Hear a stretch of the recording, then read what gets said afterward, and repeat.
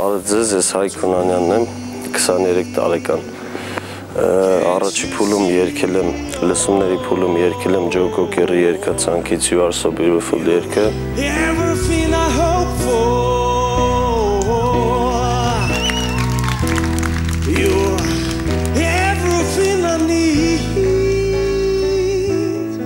Շատ զարմացա ժյուրի արձագանքից։ Ես շատ երաժիշտեր եմ ճանաչում, ովքեր վոկալիստ չեն եւ վոկալով չեն փայլում, բայց առհասարակ փայլում են բեմի վրա։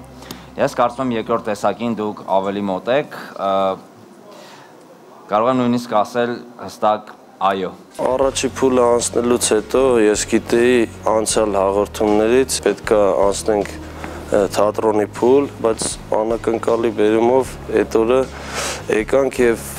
ժյուրին հայտնվեց եւ ասեց, որ համաշխարհային ինչ-որ փոփոխություն ա եղել եւ թատրոնի փուլ չի լինելու, ասի կամ լինելու եմ կամ չեմ լինելու։ 1594 Հայկ Հունանյան։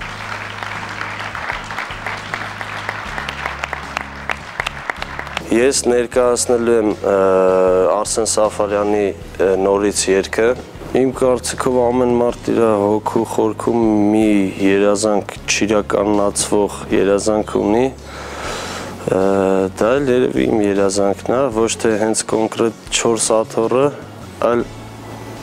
իմ կյանքի հետագան էլի։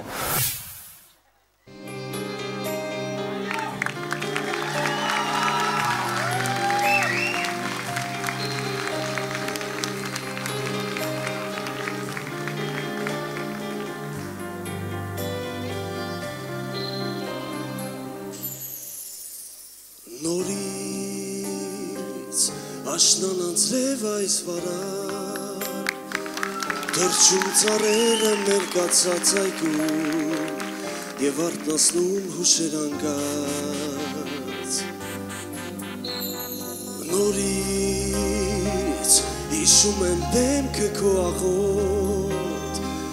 Եվ քո աչքերը միշտ թախծոտ թախծոտ Անջում է ձայնը քո երկչոտ Քո ճամփի արահետները իսանոտ Նորից բերում են ինձ քեզ մոտ Անկամ երբ միտքն է հեռանում ու երբ գալիս է անխռով մի բարձություն ու խորանդոր Քո սիրող լուր արցունքները ինձ սպասող Եվ քո խոսքերը ինձ այրող, այրող Անկամ երբ միտքն է հեռանում ու երբ գալիս է անխռով Մի բարձություն ու խորանդոր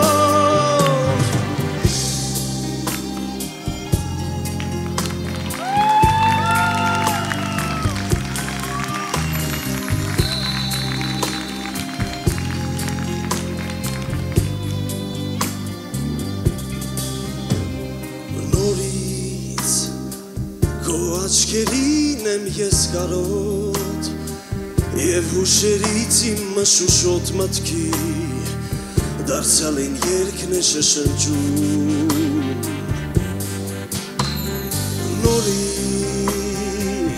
իմ երազի արահետից վազում եմ գիրկը քո նորից նորից եւ արտնանում քո համբույրից քո ճամփի արահետները իսանոտ նորից բերում են ինձ քեզ մոտ անկամ երբ միտքն է հեռանում ու երբ գալիս է անխռով մի բարձություն ու խոր անդոր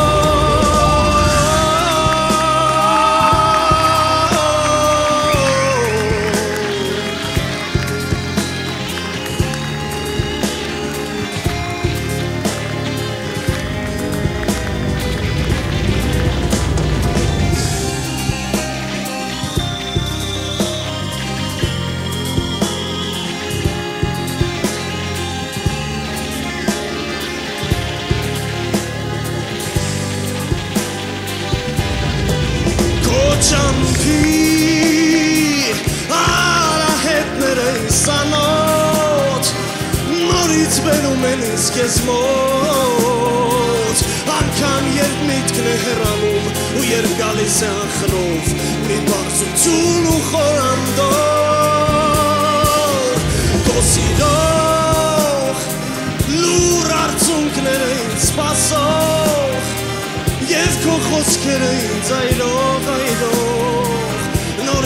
Նորից կանչում են ինձ քեզ մոտ ու կարոտացի մորերից Նորից տապում քո շուրթերից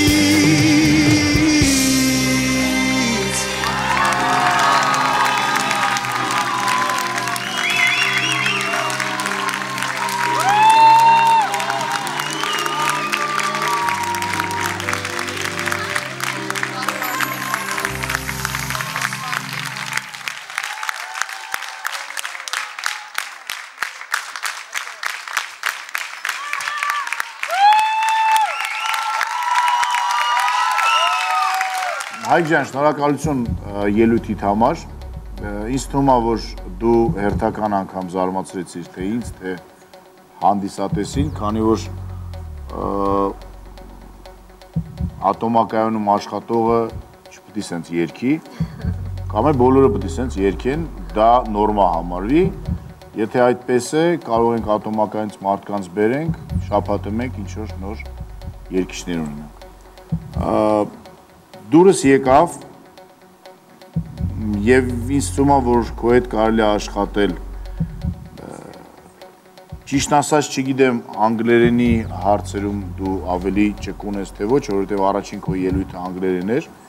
այնտեղ ինչ որ խնդիրներ կար այսօր ավելի շատ բացվեց քո թե ներքին աշխարհը թե երկեցողությունը միգուցե սա է քոնը եւ այս ուղիով է պետք շարժվել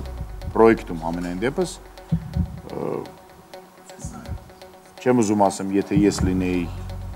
Անդրեի տեղը, քանի որ Անդրեն իր տեղը ունի, ես էլ իմ, ինձ շատ դուր եկավ, ապես։ Շնորհակալություն։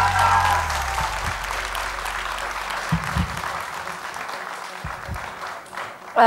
Այսօր ես շատ ուրախ եմ, որ ինձ չի վիճակվել այն բախտը, որpիսի ես որոշեմ, թե ով է նստելու աթոռին եւ ով չի նստելու, որովհետեւ յուրաքանչյուրդ շատ հիասքանչ երկիչներ եք, շատ լավ արտիստներ կարող եք լինել եւ լցնել բոլոր այն դատարկ տեղերը, որոնք կան մեր այսպես կոչված շոու բիզնեսում, հա։ Եվ մի քիչ համաձայն չեմ երևի թե խրպոտ ձայնը շատ օգտագործելու մեջ, սակայն այն ձեզ մոտ շատ գեղեցիկ էր ստացվում։ Ուղղակի մի քիչ երևի շատ էր այս երկի մեջ, թե չէ այնպես շատ գեղեցիկ ելույթ էր։ Շնորհակալություն։ Հայկ ջան, կարծում շատ էմոցիոնալ ելույթ էր առաջին հերթին։ Բայց վոկալային ինչ որ թերացումներ, որ ես կարող եմ չնկատեմ, զուտ, որովհետև մեկ-մեկ ես կարողանում եմ տված էմոցիայով փակեմ եմ բացել, որ վոկալն է տալիս մեկ-մեկ, Անդրեն հիմնականում շատ խիստ է դատում, որովհետև ինքը մասնագիտությամբ բացի երկիչ լինելուց նաև պրոֆեսիոնալ վոկալիստ Ես կարծում եմ, որ եթե ինքը ինչ որ բանել նկատեց, որ ես նկատեցի, ինքը արդեն դրա լուծումը իր մեջ կունենա եւ դրա հաղթելու ճանապարհը արագ իր մեջ գծած կլինի եւ տեսնենք կունենաս այդ հնարավորությունը դու իր ճանապարհը անցնելու։ Ընդհանուր առմամբ ես կզգամ շնորհակալություն։ Իրոք ապրես շատ սրտանց ու էմոցիոնալ ելույթ։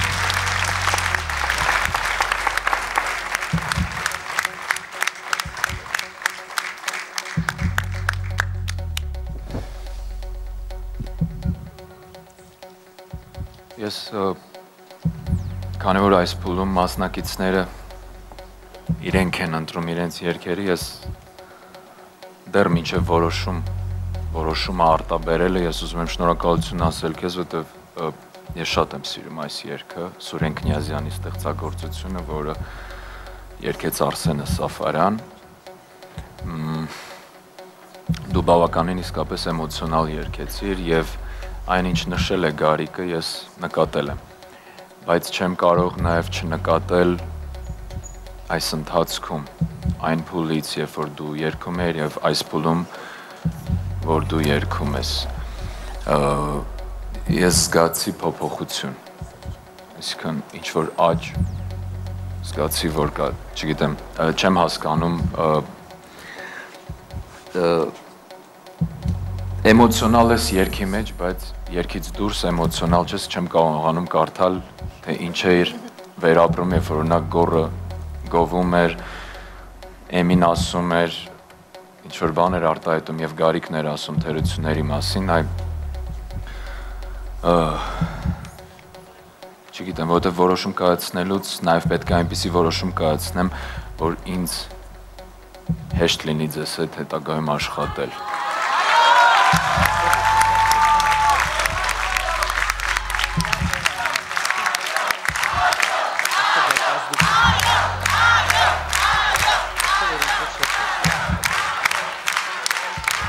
Եվ այսպիսով Անդրեյ։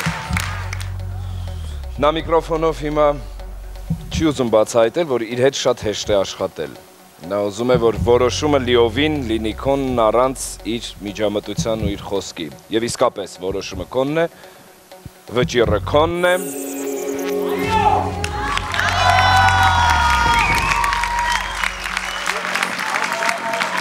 Բայց քո հետ հեշտ է իսկապես աշխատել, թե դժվար։ Մեզ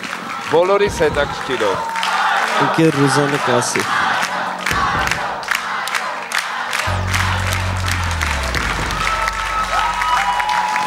Մենք չենք կարող հիմա հարցնել նրան։ Մենք ուզում ենք քեզնից լսել։ Եթե իմ կարծիքը, այո, ապա երևի թե այո։ Լավ, աշխատելու առումով։ Աշխատելու առումով հեշտ է։ Կազդի արդյոք դա վճռի վրա Անդրեի։ Մի տեղ դեռ կա։ Եվ դեռ կան 5 մասնակից։ Մի տեղ ազատ է։ Այդ աթորի վրա գրված է արդյոք ատոմակայանից ներկայացուցիչ թե ոչ Անդրե։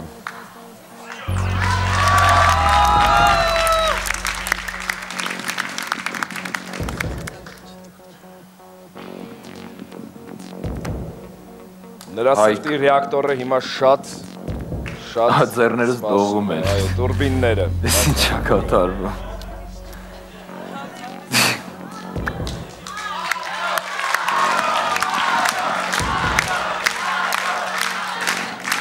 Հայկ դու իմ քարյակում ես։ Աշխատեց։